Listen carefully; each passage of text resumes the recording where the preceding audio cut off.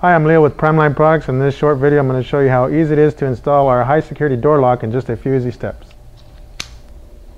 To begin, you'll need a drill with an eighth inch drill bit, a pair of safety glasses, a Phillips screwdriver, a pencil, and a tape measure.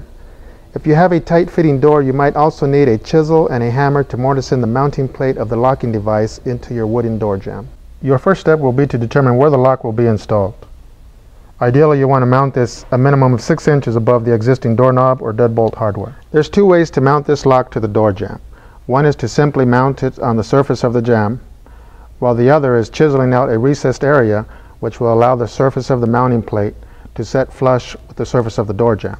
So once you've determined where the lock will be installed, you want to close the door so we can test fit the mounting plate and establish whether we'll have to mortise out the door jamb or not. You want to have the lock in the closed position and if you can slide it in between the door and the door jamb like this one, most likely you'll be able to mount it on the surface without having to chisel out the wood. If your lock can be surface mounted, the rest is fairly easy. I'm just going to hold the lock in place against the door. We're going to mark the height and the back side of the mounting plate.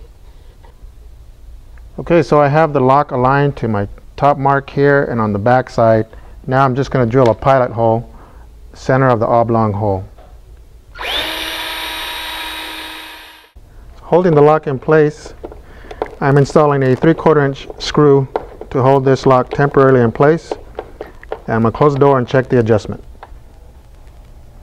Before installing the other screws, you want to check for the adjustment. I'm going to close the lock and it should just flip right into place. And this one happened to be right on. Once the lock has been set, we're ready to pre-drill our other three holes with the eighth inch drill bit.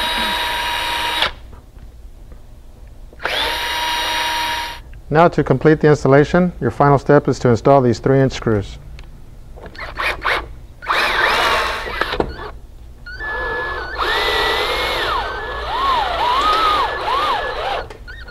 If you didn't have enough clearance to surface mount your lock like we did on this one here, all you have to do is trace around the outside of the mounting plate, then chisel out 1 16th inch deep, and then follow the same steps as we did on this one here.